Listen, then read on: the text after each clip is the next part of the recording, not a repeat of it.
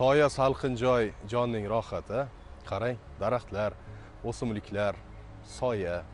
Maza qilasiz. Ammo afsuski so'nggi yillarda ayniqsa bugungi kungacha bunaqangi maydonlar faqat va faqat qisqarib ketyapti. Xo'sh bundan kim yutyapti? Kimlar yutqazyapti? Nimalarni yutqazyapti? Muammoning asl sababi nimada? Biz bugungi ko'rsatuvimizda ayni mana shu mavzu atrofida suhbatlashamiz. Suhbatdoshimiz nargiz qosimova. Nargiz qosimova ekojurnalist ko'plab maqolalar va risolalar muallifi. Ekolog uz telegram kanali asoschisi. Ekofaol assalomu alaykum xush kelibsiz. Ko'pchilik o'ylaydi nima uchun biz daraxtlar haqida ko'p gapiramiz? Daraxtlar haqida nimaga bunchalik ko'p qayg'uramiz? Ular o'zi kerakmi? O'simliklar hasharotlar nima kerak rostdan ham deydiganlar borda shunaqa insonlarga siz nima degan bo'lardingiz? To'g'risi e, man agarda manga birov shunaqa desa lekin ko'pchilik shunaqa deydi. Chunki e, ekologik eko uz botimga judayam aynan shu daraxtlarga qiron keltirilayotgan daraxtlarni tagi betonlab tashlanayotgan kesilayotgan uni atayini quritib kesib tashlayotgan holatlar juda yam ko'p keladi va aksariyat holatda mana o'zimni talabalarim nima keragi bor degan savol berishadi. Chunki daraxtlarsiz ham o'simliklarsiz ham yashayveramiz degan tushuncha ham bor hattoki aholidada ayniqsa albatta bu juda yam noto'g'ri tushuncha chunki tabiatda e, biozanjir bor. Aynan mana shu biozanjirni uzilishi ya'ni bitta turni yo'qolishi orqasidan to'rtta turni yo'qolishiga olib keladi. Tasavvur qiling to'rtta turni yo'qolishi o'n oltita turni o'n oltita turni yo'qolishi va o'z navbatida ikkita turni piramida. bo'lib ketadi. Bu esa barcha mana shu daraxtlar bilan bog'liq jonzotlarni ham qirilib ketishiga sabab bo'ladi. Bitta daraxtni olib qaraydigan bo'lsak bizada man juda yam xohlardimki daraxtni faqatgina mana daraxt kesildi deb emas balki uni qiymati jihatdan baholansa yaxshi bo'lardi.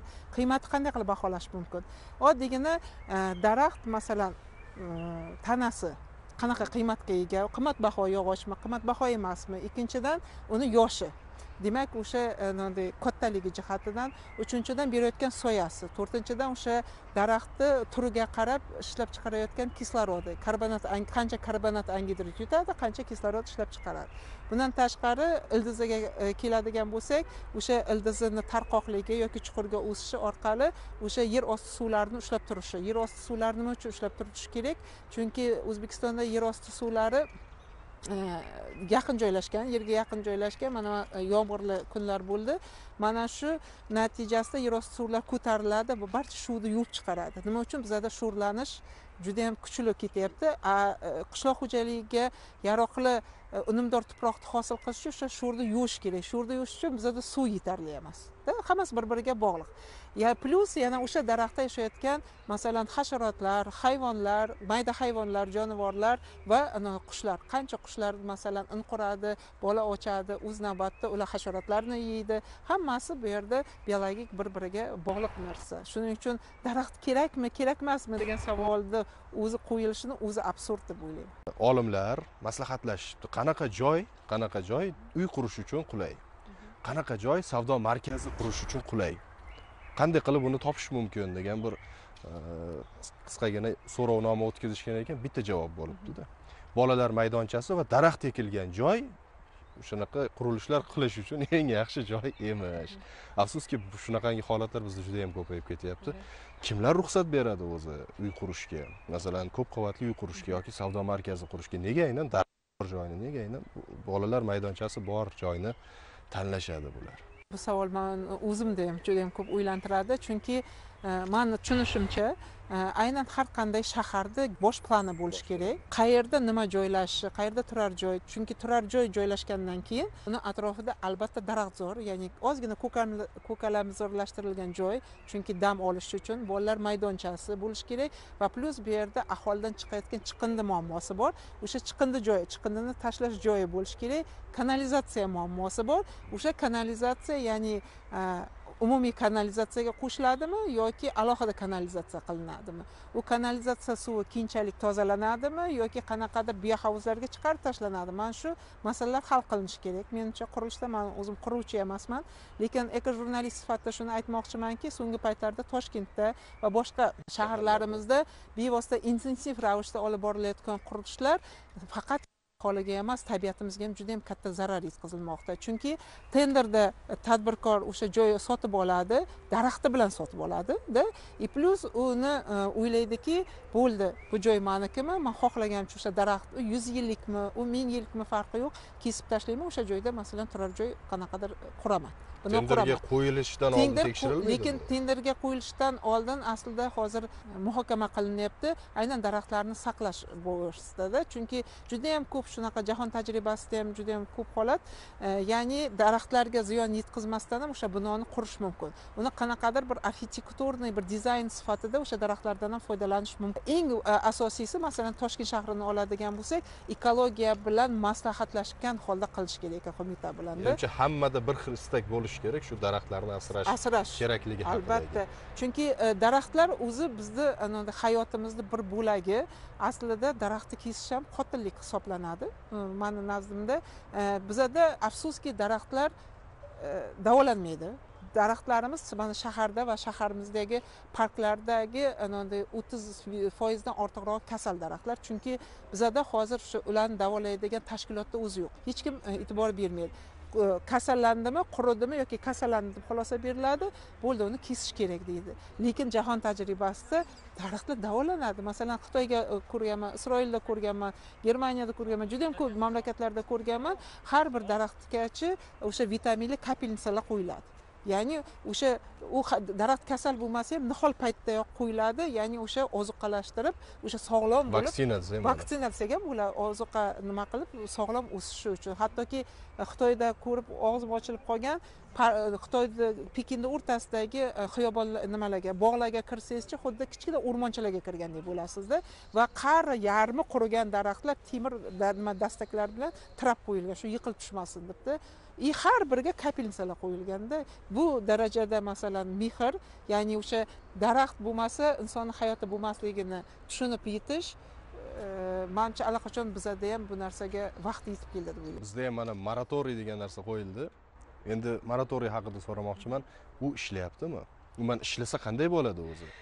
O'zi aslida moratoriy degani ya'ni o'sha daraxtlarni kesilishiga moratoriy ikki ming o'n to'qqizinchi yildan boshlab qo'yildi. Avval e, masalan muddat sifatida bir yilga keyin cho'zdirildi keyin hozir muddatsiz qilib qo'yildi. Nima uchun muddatsiz qilib cho'zdirildi? Chunki e, daraxtlarni kesish hamon davom etmoqda va e, moratoriyda aynan qimmatbaho yog'ochli daraxtlarni ro'yxati tirkalgan kesish mumkin. Terak bo'ladigan bo'lsa chunki qurilish bop tez o'sadigan uni ham e, faqatgina oq terakni kesish mumkin emas. Moratoriy kiritilgan qolgan turini kesish mumkin va hokazoda. E, lekin bizada agarda oxirgi xulosalarga qaraydigan bo'lsak e, qimmatbaho daraxtlar ham qimmatbaho yog'ochli daraxtlar ham juda ko'p kesilyapti. Buni turli yo'llar bilan kesishadi va e, moratoriyni hech kim qo'rqmay qo'ygan. E, qo'rqmayapti ham desak ham bo'ladi. Nima uchun? Masalan oddiygina agar esingizda bo'lsa burungi yili yakka saroy tumanida bir yuz sakson ikkita daraxt kesilgandi va o'rniga shu yoppasiga kesilgandi tadbirkor tomonidan va aholi juda yam nima bildirdi bildirganligi sababli aynan e, o'rniga qaytadan ko'chatlar ekishgandida. Bunday olib qaraganda va prokuratura ish qo'zg'ab misol uchun o'sha ikki milliarddan ortiq pul undirilgandida. Jarima sifatida undirilgandi lekin hanuz mani bilishimcha o'sha e, undirilgan pul oradan ikki yil o'tsa ham hanuz e, ekologiya qo'mitasini fondi bor o'shanga tushmagan pul tushmagan pul tushmagan tushunyapsizmi? Ya'ni o'sha qo'mitaga e, fondga tushadigan pul ekologiyani rivojlantirishga sarflanadi ma'lum bir qismida. U tushmagan. Bunday e, mana shunaqa chalkashliklar bor. Bu birinchidan. Ikkinchidan e, masalan daraxtlarni kesishda ataynab quritishadi. Ya'ni tagiga sho'r suv qo'yishadi. Karamni tuzlangan karamni suvi qo'yishadi kerosin qo'yishadi. Keyin qurigandan keyin baribir yaroqsizdir kesishga ekologlar kesmoqchi bo'lgan insonlar ha, xulosa berishga majbur bo'ladi qurigan daraxt bo'lgandan keyinda. Bu birinchidan. Ikkinchidan judayam eng ko'p tushayotgani ayniqsa toshkentdan va boshqa hududlardan ham murojaatlar tushayotgani shu kanalimizga bu e, daraxtlarni tagi betonlanishi. Yaqindagina e, xalqaro konferensiya bo'ldi ekoqo'mita tashkil qildi undp e, bilan hamkorlikda tashkil qilindi. Konferensiyaga italiyalik bitta mutaxassis taklif qilindi u keyin u bilan suhbatlashganimizda aytdi man dahshatdaman dedi. Ya, ko'rib nimani ko'rgan? Chunki aytyaptida nima uchun shaharda sizlarni hamma qoplamalaring debdi asfalt bilan beton debdida. Chunki mana asfalt bilan beton yotqiziladimi bo'ldi. Uni tagidagi mikroflorasi o'ladi debdida. Chunki mikroorganizmlar borku yerda yashaydiganda ular o'sha daraxtlarga ham hamma o'simliklarga butalarga ham kerak. O'ladi debdi. Shuning uchun deydi g'ovak qoplama qoplanishi kerak aslida deydi shaharda.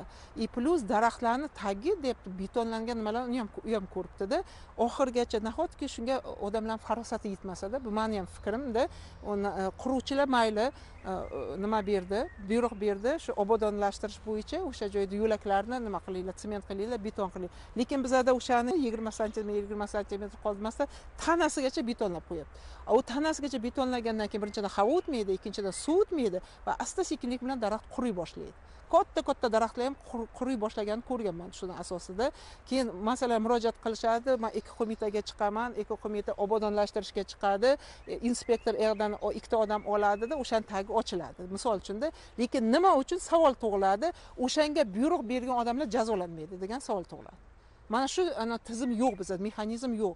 Chunki judayam katta jarima qilinishi kerak. Bu bila turib bunday vahshiyona munosabatda bunday olib qaraganda. Bu birinchidan. Ikkinchidan butunjahon sog'liqni saqlash tashkilotini tavsiyasi bor.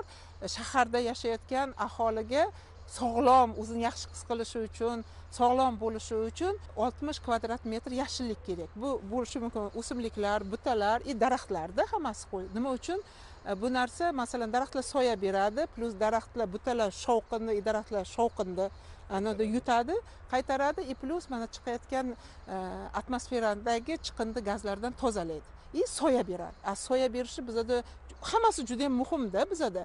Agar esingizda bo'lsa o'tgan yillari umuman shahar ichidagi butalar hammasi yoppasiga tomir bilan nima qilib tashlandida yulib tashladi yulib tashlandi nima uchun? Kim buyruq bergan? Umuman tushunib bo'lmaydi.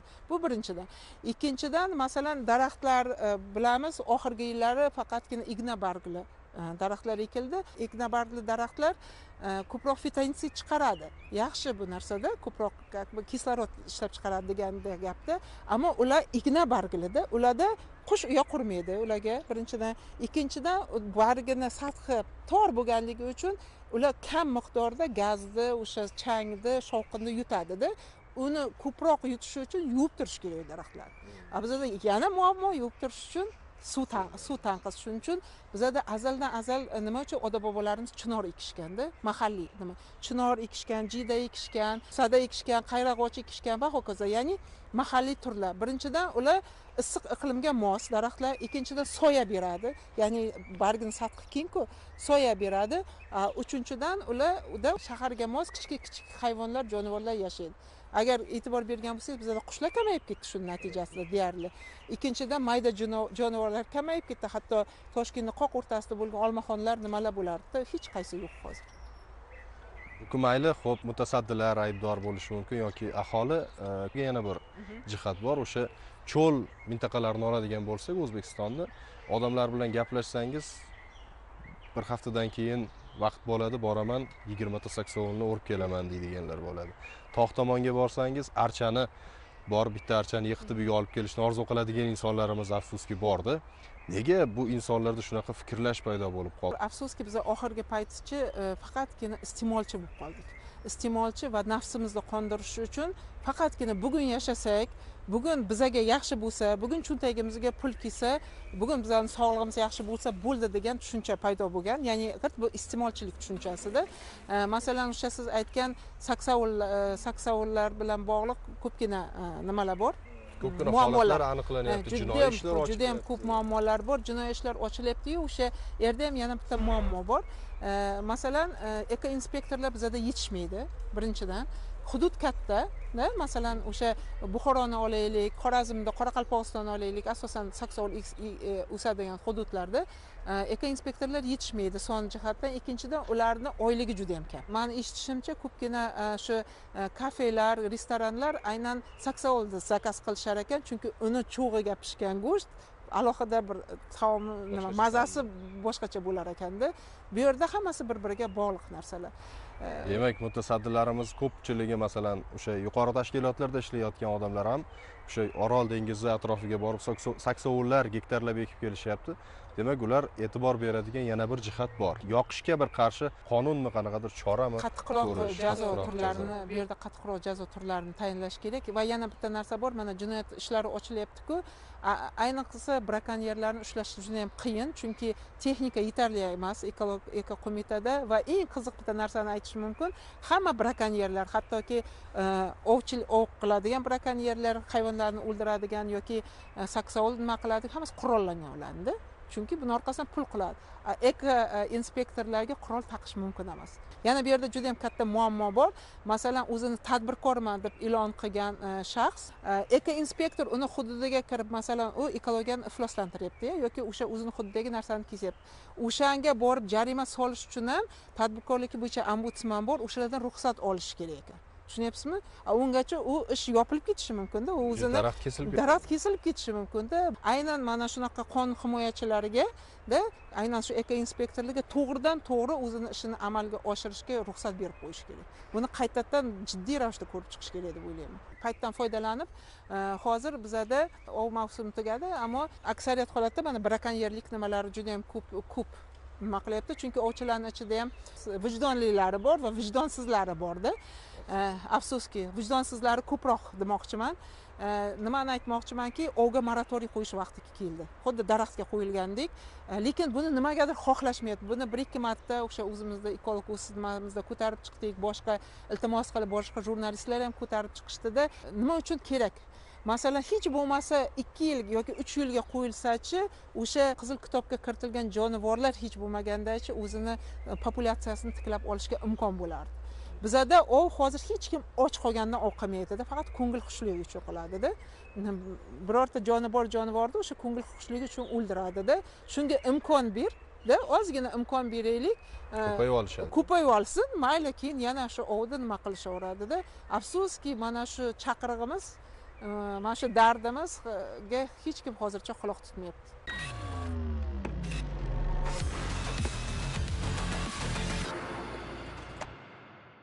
endi keyingi yana bir muammo bizni ko'p o'ylantiradigan ko'p qiynaydigan muammo o'sha chiqindilar masalasi o'sha maishiy chiqindi deylik qurilish chiqindilari deylik boshqa mana hattoki o'sha nima deydi eh, mavzuda bu.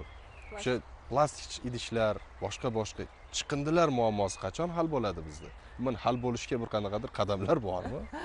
Yo'q bizada e, qadamlar bor chunki agarda e, olib qaraydigan bo'lsak ikki ming o'n yettinchi yilda shu tabiatni muhofaza qilish qo'mitasi ekologiya va atrof muhitni muhofaza qilish qo'mitasi sifatida o'zgartirilgandi. Prezident qarori bilan yigirma birinchi apreldagi qarori bilan va natijada ularga shu eko qo'mitaga chiqindi muammosi ham yuklatildi. Mani fikrimcha u alohida boshqa nima bo'lishi kerak? Alohida qo'mita bo'lishi kerakmi? Alohida bir struktura bo'lishi kerakda nima uchun? Chunki hozir o'zi shundoq ham eko inspektorlar kam chiqindi shunaqa narsaki biza o'ylab qaramaymiz. Masalan e, shunday olamizda bir martalik hozir moda bo'ldiku kofe olib ichish bir martalik stakanchiklarga bir martalik. idishlargada ichamizda xohlagan joyimizga tashlab ketamiz chunki chiqindi qutilari kam.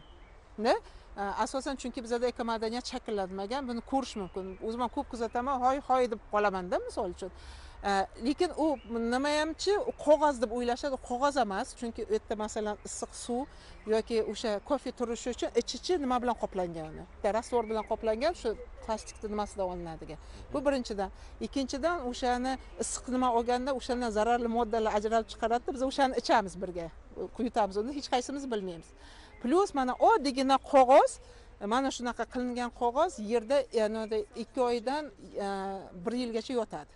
Chirimaydi bu faqatgina qog'ozni oladi. Endi plastikni o'zini oladigan bo'lsa oddiy selofan paketlar qora qarg'aga o'xshab shamol bo'lsa uchib yuradiku e, oddiy selofan paketlar nimasiga qarab? Qalinligi strukturasiga qarab ikki yuz yildan ming yilgacha yotadi yerda. Oddiygina sigaretni anaday bichogi borku o'sha oltmish yilgacha yotadi. Qoldig'i. Qoldig'i yotadi. Saqich ellik oltmish yil yotadi oddiygina saqichni olishadi tuflab tashlashadi man nima uchun e, aynan buchoq bilan saqishni aytyapman hozir chunki e, qushlar uni nima deb o'ylaydi? Yemish deb o'ylaydida qurt deb o'ylaydi yemish deb o'ylaydi yutib yuboradida hozir juda yam ko'p qayd qilinyapti o'sha qushlar o'shandan nima o'layotgani. Oddiygina pampersni olaylik chunki aytishga majburman o'sha pampers yerda olti yuz yil yotadi. Chirimasdan chirimasdan ya'ni bizada kelgusida anaday qadimshunoslarimiz o'sha arxeologlarimiz yerda kovlaganda biza qadimgi e, tilla tanga nimalar emas shu pamperslarni topishadi bizadan keyinda.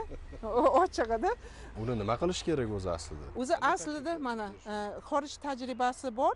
Bu yerda e, yaqindagina talabalarni chiqindi ohangaron chiqindi poligoniga olib bordim. To'g'risi e, biza ko'ramiz u yerda bu yerda ozgina ozgina chiqindi yotganini. Lekin siz tasavvur qiling yigirma to'qqiz gektarda chiqindixonada u yetmishinchi yillardan boshlab o'sha yerga har kuni e, toshkentdan ikki tonna bir yarim ikki tonna chiqindi olib boriladida har kuni.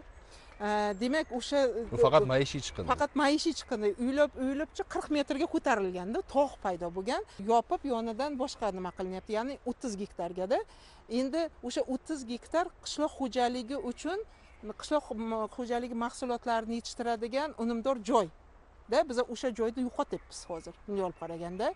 Ikkinchidan u chiqindilar bir birini ustiga nima qiladi? Bizada issiqku o'zidan e, gazlar ajratib chiqaradi. Metan gaz. Elementarno o'sha joydan metan gaz olish mumkin. Ya'ni atrofdagi qishloqdagilarni gaz bilan ta'minlash uchun bu birinchisi. Ikkinchisidan bizada afsuski где то yigirma besh ha o'ttiz foiz ham deylik nima chiqindi qayta ishlanadi. Asosan shu plastik e, shisha qog'oz mato bo'ldi. U ham hammasimi? U ham hammasi emasda o'shalar qayta ishlanadi bo'ldi. Qolgani hammasi chiqindi poligoniga olib boriladida usti buldozerlar ishlaydi ko'miladi ya'ni yonib ketmasligi uchun ko'miladi o'sha hamda. Chunki ana issig'ida o'zidan gaz chirish natijasida gaz ajratib chiqaradiku o'z o'zidan yonib ketadida u. Xorij davlatlarida nima qilishadi? E, yaponiyani oladigan bo'lsak ularda qayta ishlanadigan qayta e, ishlanmaydigan yoqiladigan va yoqib bo'lmaydigan chiqindi sifatida nima qilinar ekan qayta ishlanadigan hammasi qayta ishlanadi. Qayta ishlanmaydigani va e, yoqib bo'lmaydiganlari masalan ximikatlar bo'lishi mumkin. Ular maxsus nimalarda ko'miladida yoqiladiganlar hammasi yoqilib yana o'sha yoqilganidan turli xil qimmatbaho metallar ajratib olinadi. Plyus qolgan kuli borku qolgan kuli qurilishda ishlatiladi. Ya'ni o'sha g'isht e, tayyorlanadida qurilishda ishlatiladi. Ya'ni e, tasavvur qiling kichkinagina yaponiya joyi deyarli yo'q lekin bir yuz o'ttiz million aholisi bor. Bir yuz o'ttiz million aholisi bor davlatda poligon yo'q. To'rtta o'zbekistondagi bizada eng katta muammolardan biri batareykalar batareykalar utilizatsiyasi bizada yo'q. Tushunyapsizlar o'sha umumiy chiqindixonaga olib borib tashlanadi ammo batareykani tarkibida o'ta zaharli moddalar borda. Uni qurg'oshin simob bor va boshqa boshqa nimalar borda kimyoviy moddalar bor. Ular e, yerga tushgandan keyin atrof muhitni zararlaydi ularda. Lekin shu narsaga umuman e'tibor bermay umuman hanuzgacha o'sha utilizatsiyasi yo'lga qo'yilgan. E, yana bitta muammo o'sha poligonga borganda so'radim. U- yergachi qurilish e, chiqindilarini qabul qilishmaydi. Agarda mana chirchiq tomonga o'tadigan bo'lsangiz daryo bo'ylari daryo bo'ylariga kechasi o'sha qurilishdan chiqqan chiqindilarni olib borib to'kishyaptida. Bu birinchidan ham suvni ifloslantiryapti ham o'sha yerda jonivorlar o'simliklar qirilib ketishiga hm, sabab bo'lyapti. Bizadachi shunaqa narsa shakllandiki birov mani orqamdan kelib tozalab ketsin hm, birov mani uchun qilib bersin degan narsa shakllandida afsuski. Mana shunday e, hozir yoz boshlanyapti boshlanadi soy bo'ylariga chiqish. Man o'tgan yili misol uchun o'sha yangiobodga toshkent viloyatida yangiobodga borganimda yig'lab boradiganmanda to'la soyni bo'yi chiqindida bo'lmagan narsasini o'zi yo'qda. Yana shu chiqindini o'rtasida o'tirib odamlar ovqat ham yeb o'tiribdida. Misol uchunda cho'milibdi. Keyin e, o'zimiz bilan endi birga boruvdikda yig'ishtirib oling dedimda. O'zimizda olib qolgan nimasini yig'ishtirib oling desam manga shunaqangi yomon qaradi nima endi man nima endi? dedi. Ana hamma yotibdiku deydi. Yo manga qarang dedim. Shulardan farqli ravishda dedim. Odamku biza dedimda. Man tashib ketsam dedim. Siz tashlab ketsangiz dedimda. Shunaqa bo'lyaptida dedim bu yer nima bo'ladi dedim chiqindi katta chiqindi nima uchun kimdir yig'ishtirib ketishi kerakda nima uchun bizlar uchun kimdir qilib ketishi kerak hammamiz yaxshi ko'ramiz ko'm ko'k joyda toza joyda o'tirishdi nima qilishdi lekin o'sha iflos qilib ketgan joyimizga qaytib o'tirmaymizku o'zimiz nima uchun biza masalan uyimizni tozalaymizda nima uchun shu umumiy uyimiz bo'lgancha anaday tabiatimizni tozalamaymiz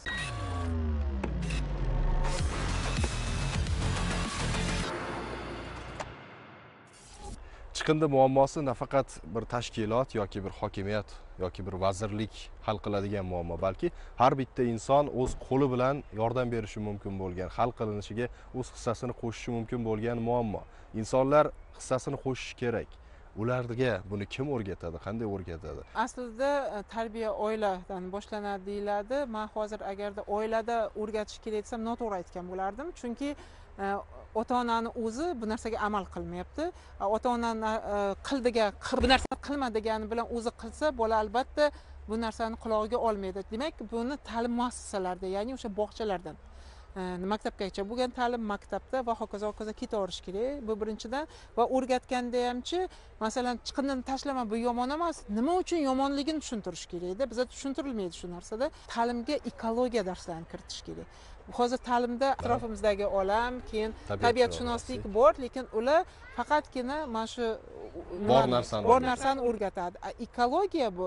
Aynan e, odamlarni tabiatga ta'sirida aynan ekologik darslarni kiritish edi, ekologik nuqtai nazardan qarash kerak. Xitoyda maktabga borib qolgandik o'shanda tarjima qilishda tabiat darsida ularda tabiat darsi juda yam ko'p ekan. Qanaqa qilib o'rgatyapti? Qoyil qolganimda e, misol uchun e, daraxtni olib chiqqan o'zi e, katta maktabda joyi kichkina bo'lgani uchun bitta daraxt o'sib turibdida. O'sha e, uchinchi sinfmi bolachalarni olib chiqishganda tushuntiryapti. Mana daraxt e, daraxt kislorod ajratib chiqaradi. Kislorod bo'lmasa sizlar nafas olmaysizlar sizlar nafas ololmasalaringiz sizlar o'lasizlar. Yashamaysizlar ota onang bo'lmaydi singling bo'lsa singling bo'lmaydi deb tushuntiryaptida. Keyin daraxtni sindirmaslik kerak. Nima uchun sindirmaslik kerak? Qush qo'nadi qush yashaydida и plyus bargidan soya beradi debdi keyin darsni oxiri bir yarim soatgina tushuntirdi. Darsni oxirida borib bolachalarchi shunday daraxt tanasini silab Mehr bilan. ularda bu narsa tirik narsa ekanligini bilibchi mehr berib nima qila boshladi? Xuddi ana shunday qilib ekologik darslarni o'tish kerak deb o'ylayman yana bitta e, shu o'rinda bitta narsa keldi. Masalan bizada e, ikki uch yil oldin avtomobilsiz kun e, e'lon qilingandi. Ya'ni har oyning oxirgi jumasi avtomobilsiz kun bo'lishi kerak edida. Lekin kerak edi. Lekin nima uchun shu amalga oshirilmadi? Chunki mexanizmi ishlab chiqilmaganda. Tasavvur qiling mayli avtomobilni hamma avtomobilni uydan qoldirdida lekin jamoat transporti yetishadimi shunga? Uni ta'minlab qo'yish kerak tushunyapsizmi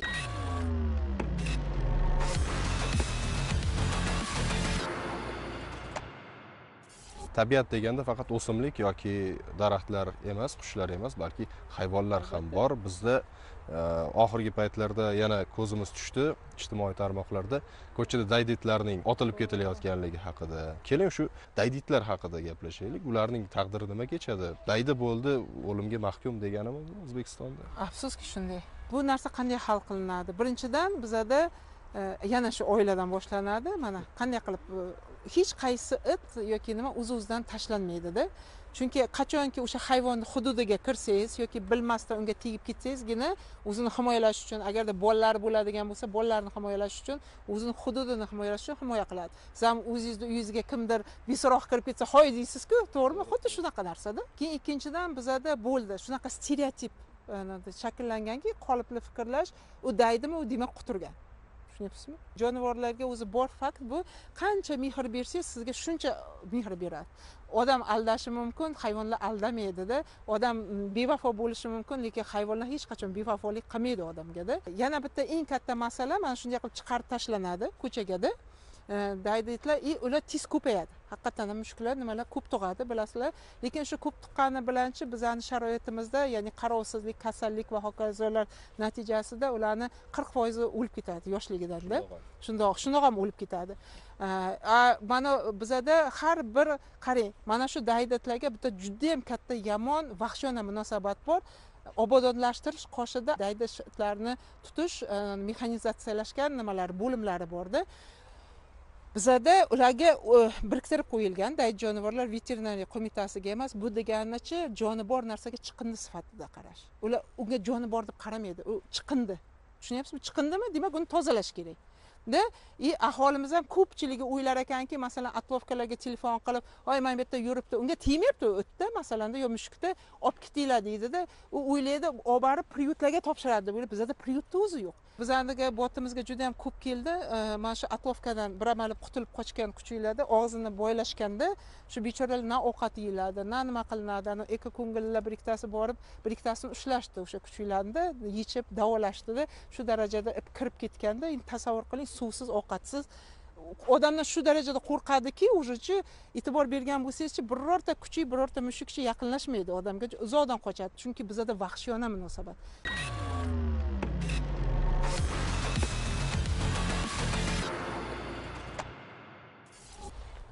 Yaxshi takliflar bo'ldi bugungi ko'rsatuvimiz davomida. Tabiatning bir qismi bo'lgan o'simliklar va hayvonlarni asrash naqadar zarur ekanligi ularga qanday munosabatda bo'lish kerakligi haqida bugun biz gapirdik.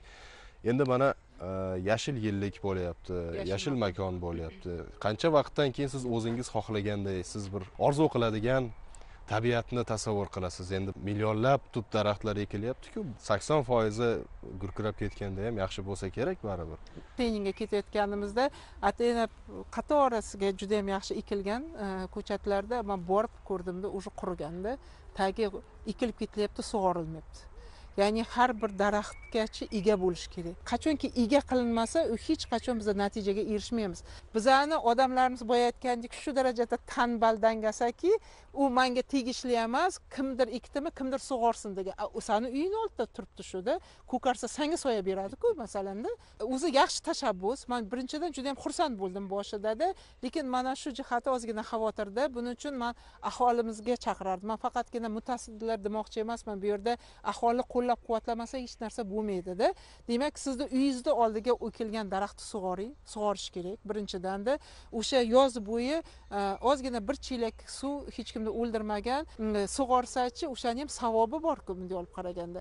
Ya'ni o'sha daraxt me- maniki deb his qilib agarda nima qilsa o'sha prezidentimiz orzu qilgan nima qilgan? Yashil haqiqiy yashil makon o'lkaga erishgan bo'lardikda. Biz sizning shu orzuyingizga tezroq yetishishingizga tilakdoshmiz va ayni mana shu nuqtada ko'rsatuvimizga yakun yasaymiz. Muammo nimada ekanligini biz qidirishga harakat qildik. Muammoga yechimlar taklif beryapmiz. Demak bizni ko'rsatuvimizni kuzatib boring. Salomat bo'ling. Rahmat. yaxshi bo'ldi. Sizga rahmat. dardimni aytib oldim